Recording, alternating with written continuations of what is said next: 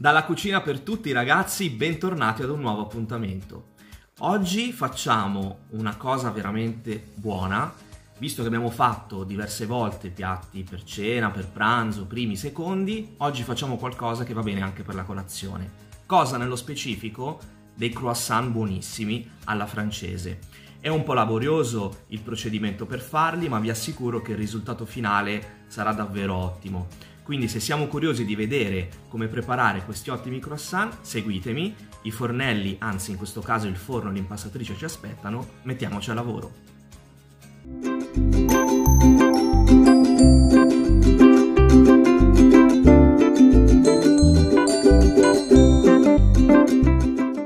Ingredienti per 8 croissant ci serviranno 250 g di farina Manitoba. Io utilizzo una Manitoba con forza V460 che taglio insieme ad altri 250 g di farina 00.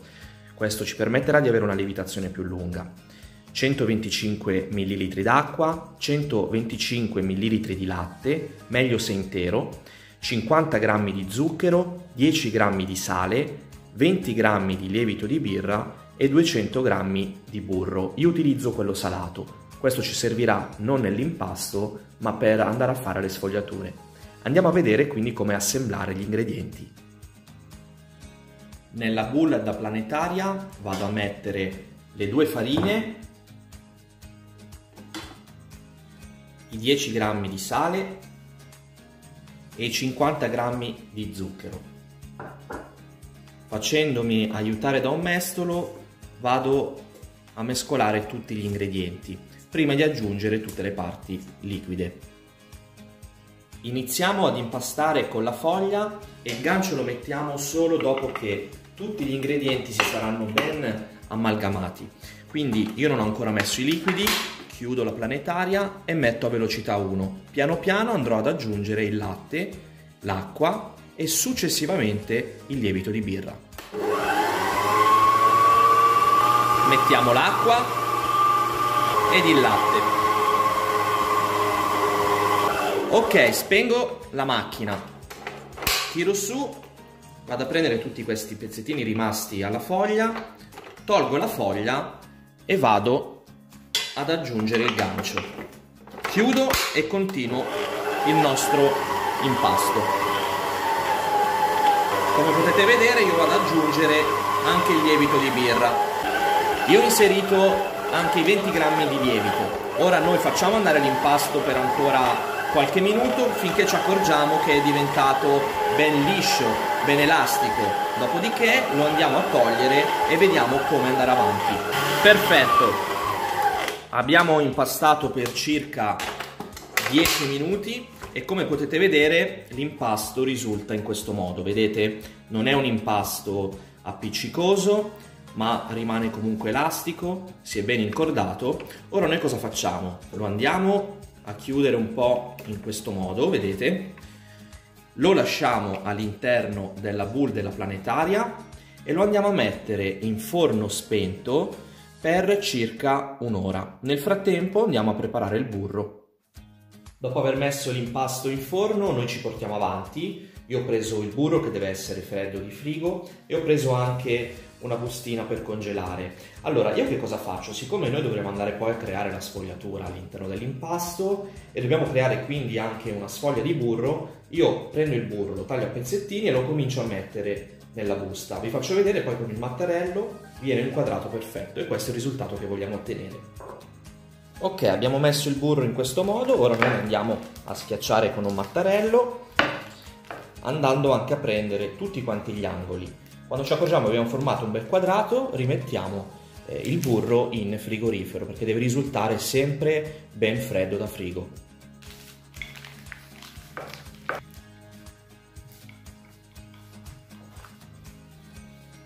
Ok, abbiamo completato l'operazione, come vedete è venuta una sorta di sottiletta di burro, no, questo ci servirà davvero per riuscire a fare meglio le sfoglie senza stare troppo a impazzire per eh, tirare il burro magari con la carta da forno che ci risulta più difficile. Ora mettiamo in frigo appunto il nostro burro e aspettiamo che l'impasto abbia completato il suo riposo e la sua lievitazione.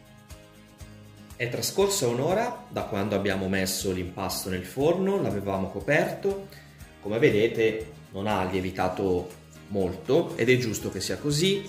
Noi l'abbiamo anche coperto ovviamente per non formargli quella brutta crosticina sulla superficie. Ora noi quale operazione andiamo a fare? Andiamo quindi a stendere l'impasto formando un rettangolo cerchiamo di tirarlo con una forma regolare in questo modo come vedete e ora facciamo guardate questo procedimento noi prendiamo il nostro impasto e lo andiamo a piegare così in questo modo con questi lembi ben tirati e deve venire fuori questo risultato prendiamo la carta trasparente e andiamo a chiuderlo e a riporlo in frigorifero.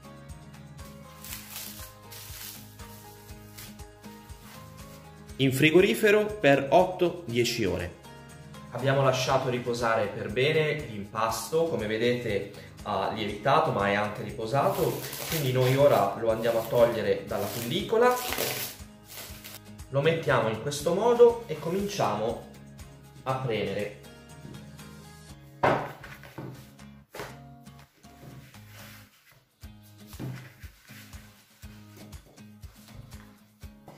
Ecco, vedete, io ho cercato di mantenere una forma molto regolare. Io sono andato a prendere dal frigo il panetto di burro che abbiamo, eh, diciamo, assottigliato in questo modo e vedete, ho cercato di dare alla pasta praticamente la stessa larghezza del nostro burro, lasciando circa un centimetro da una parte e un centimetro dall'altra.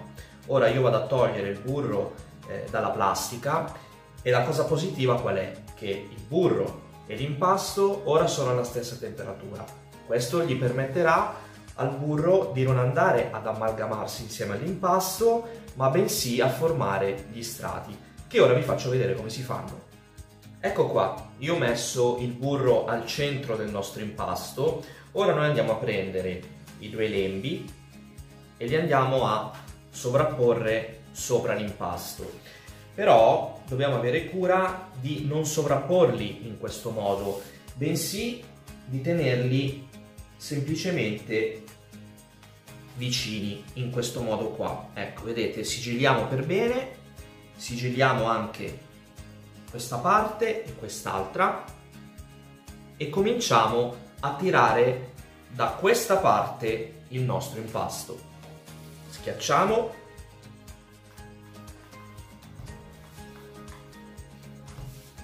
Noi gli facciamo una prima piega in questo modo,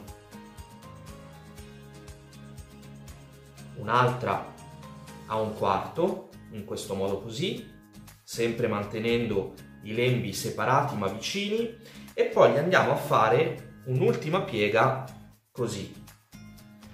E come potete vedere abbiamo già creato 1, 2, 3 e 4 strati.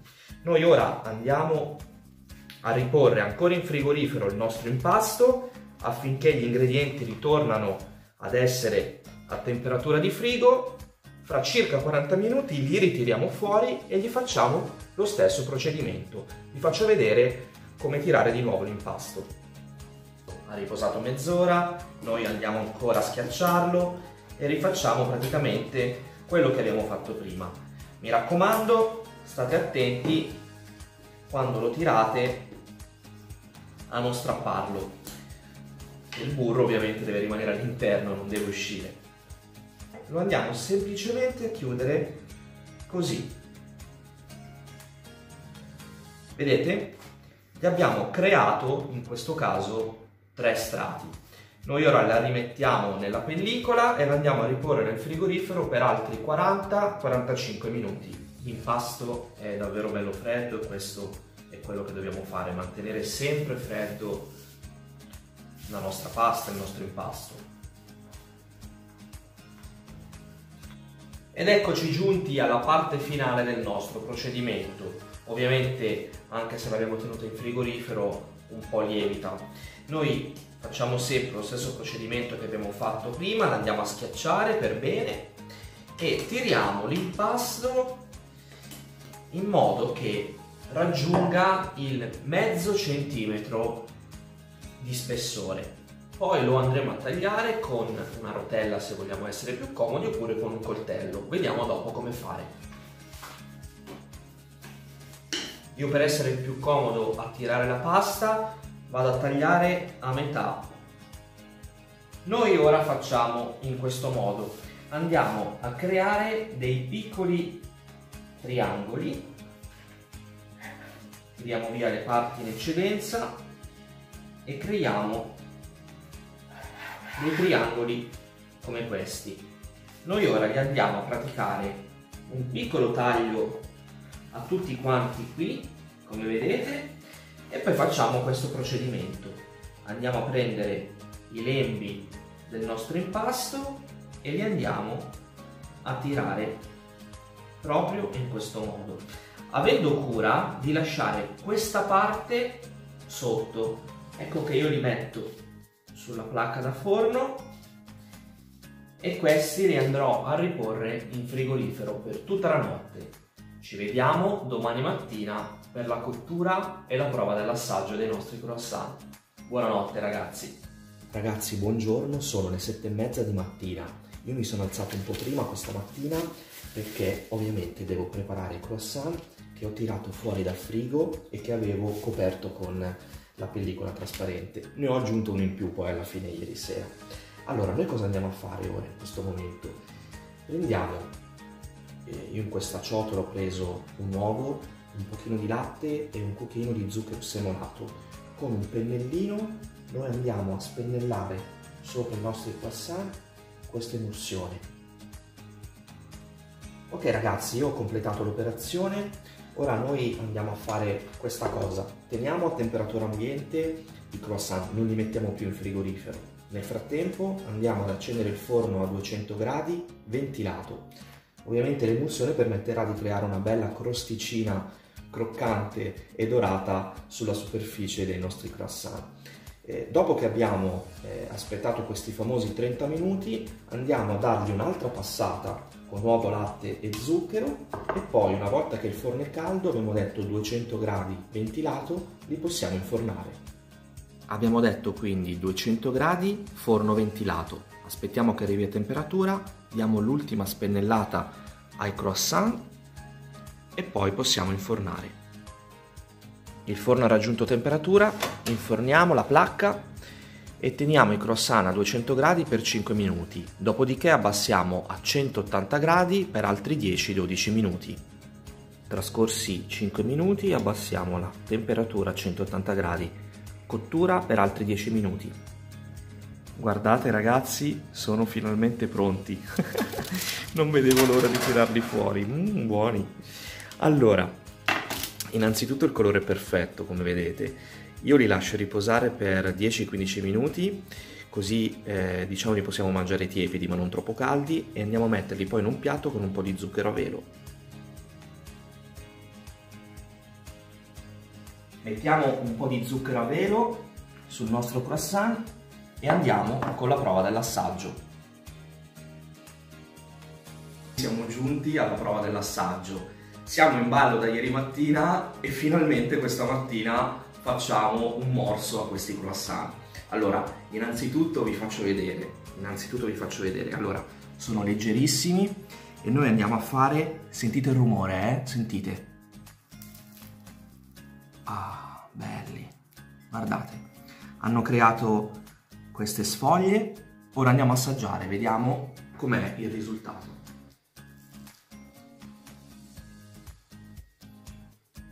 Ragazzi, è davvero top.